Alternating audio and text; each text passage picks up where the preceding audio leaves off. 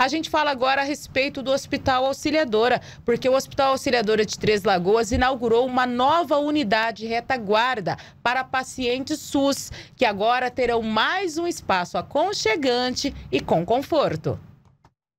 A inauguração aconteceu na manhã desta quarta-feira e contou com a presença dos diretores, médicos e enfermeiros, entre outros funcionários do hospital, bem como a secretária municipal de saúde, vereadora, entre outras lideranças. A nova unidade é composta por 20 leitos e foi totalmente reestruturada. O espaço era utilizado como residência das irmãs Filhas de Maria Auxiliadora, que viram a necessidade de ampliação do hospital e disponibilizaram um local para oferecer o melhor atendimento aos pacientes. A irmã Dilma Canavarro de Abreu falou da iniciativa. Porque a nossa missão é servir com amor e servir a população na saúde. Então esse espaço aqui, ele é, é um espaço sagrado, porque ele foi um dia residência das irmãs. Como as irmãs mudaram daqui, ficou esse espaço para duas irmãs só. Então, quando veio a Covid, nós cedemos esse espaço na correria, tiramos tudo para poder ceder para a população, porque era um momento emergencial.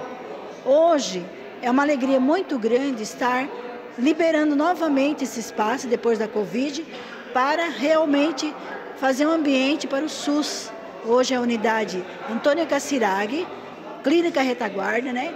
E vai ajudar muito nesse espaço, que tem um ambiente lindo. Aqui na unidade da retaguarda do Hospital Auxiliadora, os pacientes poderão ficar internados pelo prazo de até 10 dias. A retaguarda hospitalar tem 460 metros quadrados. É composta por um time de profissionais com especialidades diversas e também equipe multidisciplinar para dar todo o suporte necessário ao paciente. Em 2022, foram registradas 1.158 internações na unidade e no primeiro semestre deste ano, 610 internações.